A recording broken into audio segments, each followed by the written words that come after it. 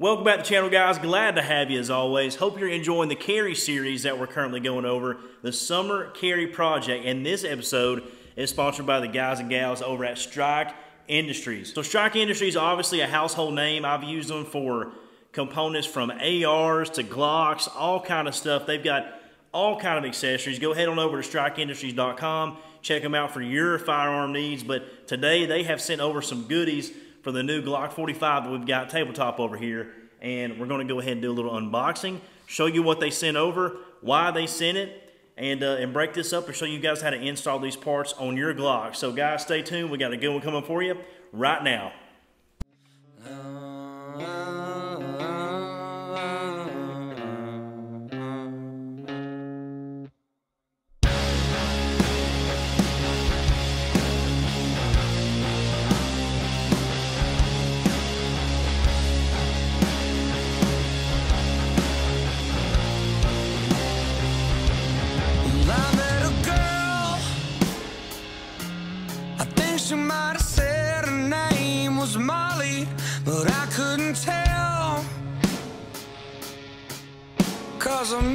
Was so damn loud. She must have cast a spell. All right, guys, welcome back. So we've got another tabletop for you guys, hopefully laid out just a little bit better. Uh, but overall, uh, like I said, this video is sponsored directly by Strike Industries. So if you guys want any of these products, there'll be a link down in the bio. Go check them out. I promise you, you will not be disappointed. The fit and finish is incredible, as you guys will shortly see. But let's go ahead and go over. So in the package, I was sent over one of their brand new threaded barrels for the Glock 45. Obviously, anything in that 19 genre this is going to fit this is a direct factory replacement also with a uh, with a thread at the end the half by 28 so you can put a comp or maybe one of them quiet cans on there if you get your uh, your tax stamp done but guys that'll be in the next video so this video we are going to cover the highly anticipated strike industries emp and we're going to install one for you right now and show you just how easy this truly is i just did the first one to get myself familiarized with it, but this is what it looks like on a standard uh, Glock 17 magazine. And does this thing not look like it came factory like this? I mean, the fit and finish, this is the Flat Dark Earth edition. I mean, this looks like Glock put this on themselves, I promise you.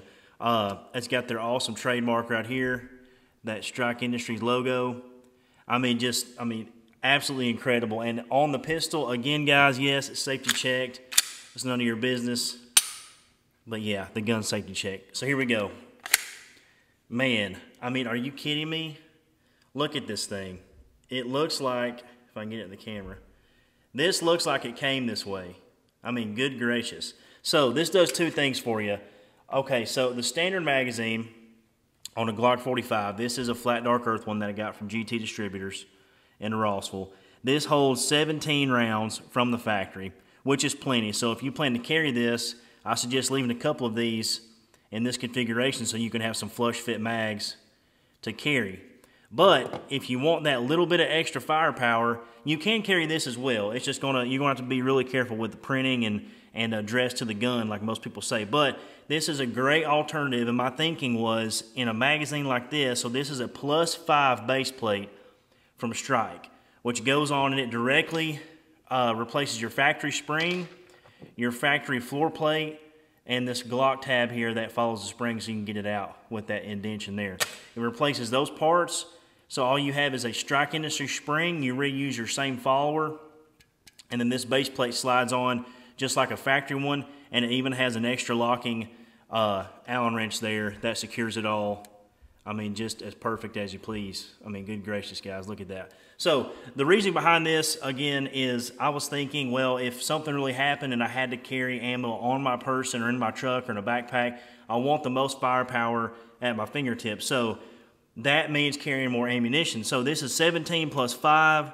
22 rounds in one mag change. So you go from the factory 17 to 22 just like that and you look good doing it. I did notice that these are just a hair heavy, and I don't think that's a bad thing. And so what I mean is if your gun is having problems with, you know, drop free, obviously there's some aftermarket magazines that have problem dropping free.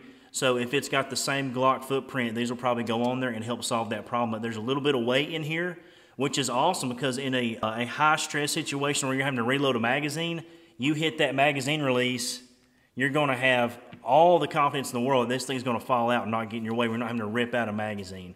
So let's go ahead and put these, uh, put one of these bad boys on for you guys. So again, Strike Industries, shout out to them for hooking the channel up with some of these uh, base plates. They sent me three. I'm going to go ahead and install one of them for you now. So this is how it comes in the package. Get everything you possibly need to install this part from Strike. You don't have to buy anything. This Allen wrench, uh, obviously you, now to be honest with you, this Allen wrench that they supply with the magazine base plate, you could probably use this at a pinch as a Glock tool. That may be the reason why they did that now that I'm looking at it. But I happen to have a Glock factory tool, which if you don't have one, spend you the eight, seven dollars or whatever this thing runs now. Buy one of these, it will save your butt. But I'm going to open this just as it comes from Strike. So you've got your base, your lock and base plate tab right here, the included Allen wrench, and a already blue Loctited Allen head screw. How freaking awesome is that? I don't even have to get my my own Loctite out. So you get the instructions with a Q code that takes you directly to the uh, install instructions. I'm telling you, they got a great website as well. But we're not going to need that because I've already, you get a warning here just in case you're in, uh, you know, California. But also the Allen head wrench. So you got that, got your spring, got all your tools. Let's get started. So the magazine that I'm choosing to do this on, the first one was just a factory 17 round black that came with the gun. This one is a special one. I bought this just for the project. This is a Flat Dark Earth Factory magazine. I think it goes with the 19X in this colorway, but we're going to use it. Since I've already got my number one mag to carry, I'm to leave it stock. But we're going to take this chance to break this one down. So all you do, if you haven't seen this online already, move this out of the way. They also sent a really cool sticker here. I love that, guys. Keep doing that. Never lose that. Customers appreciate the stickers, I promise you. So you see this detent here? I'm to get this camera to focus. You've got a detent that is here in the top of the magazine on the floor plate. This is your factory floor plate. It says Glock. You're going to insert your Glock tool. See if I can get this for you. So you're going to insert your Glock tool here. You're going to depress that. You can almost stick the whole thing in there once you do that. That's going to give you a little bit of leverage to pinch the sides because you've got two locking tabs on each side of this magazine you're going to have to overcome here. So you reach down. All right, so we got it off camera. I had to use my had to go in and use my hip here. So we've got it this far. That means it is broken down. You've defeated the floor plate and the tabs. As you'll see, those tabs there are defeated. Going to hold your thumb over the spring, and you're going to slide this off. Floor plate in your hand. Spring comes out just like this. And that's it. So you're going to keep this piece. You're going to keep this piece in case you ever want to reuse it. But you're going to take your factory spring out. Lay that magazine body aside. Now on the inside of these new ones, they used to loop this S-spring on, uh, on the inside of this. This is called your follower. On the Gen 5 magazines, it's orange. I don't have an old one here, but an old one would be, be black. Unclip this, rotate it from the side. It'll hear an audible snap. Here's your stock spring and you're going to lay this to the side because you might want to save that. So here's my two factory springs from the magazine install I just did. You're going to also keep these in a pile because you never know, guys. Don't throw parts away. You never know when you're going to need that, whether on this magazine or another one. So we're going to unwrap the, uh, the Strike Industries spring, which is so nice that they include this. That is super, super nice. So this, uh, you guys, obviously common sense here. The magazine spring only goes in one way. This small section of coil fits into the follower.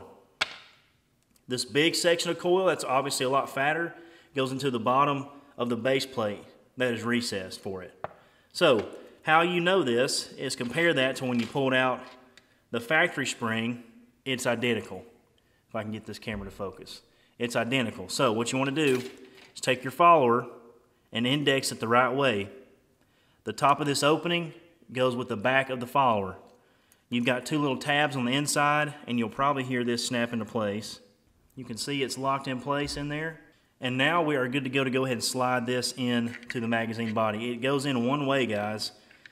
And use another magazine for reference. So there's your magazine. Followers, use it for reference. Get it right the first time, only goes in one way. Slide that bad boy in. Check it for reference. We're good to go. Now this is the fun part. So you take your magazine base plate here. And also, just a, a, quick second, on the back of this, if you're wondering what this screw hole is, this is for if you want to add a clip system that Strike also sells separately, which if you're going to EDC this, if you're going to carry this magazine, I highly recommend that. And have a picture of it right here in case you want to know. That gets indexed on the back side of that other screw that you're not going to use. And you can carry that magazine upright like this in a pocket with that clip. So that's really cool for guys that do that. You've got that capability right there. Put this bad boy on here. So I'm going to depress this spring. And I hope you guys can see this. It's hard to do it with a camera in your face. Make sure you get your rails on right. The magazine base plate goes on. Really only one way. I can see that I've got the rails going on perfectly here. Perfectly indexed on both sides. I'm not jumping rails. You're going to defeat these tabs, and we're all going to hear this audible click together. So hang on. Did you hear that? That's on there. You can hear that spring is fully seated. That's it. Obviously, right here, you're probably good to go because you can see both ears are good on the side of that mag. Both of them are locked in. We're in on both sides of the rails. You could probably go to town like that, but Strike goes an extra step further, and they include an Allen wrench, a, a uh, locking plate, and a Allen head screw. That is a high quality screw, I'm going to add, that already has Loctite. So we're to take that. The locking plate only goes one way. They really make this dummy proof for you. Scalps go on the very top of the mag. Going to put that locking screw in, and I'm kind of weird about my screws. I kind of go counterclockwise until I hear that thing sink in a little bit because I really don't want to cross thread it. And that is awesome that they have Loctite on this already. That is so cool. I was prepared to go ahead and put Loctite on it, but you don't have to.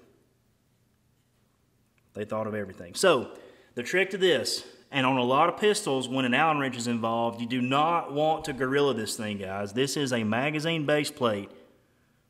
It is not going anywhere. This is just a precaution, so you don't worry about it. So I'm going to go just maybe one ugga dugga on this thing, and that's it. That is all you need, and you're done. And does that not look freaking sexy on a Flat Dark Earth magazine? I may end up doing the other one, but I kind of want to keep this one to carry, so I might leave that one alone. But check that out, guys. That is the Strike Industries EMP Plus 5 base plate.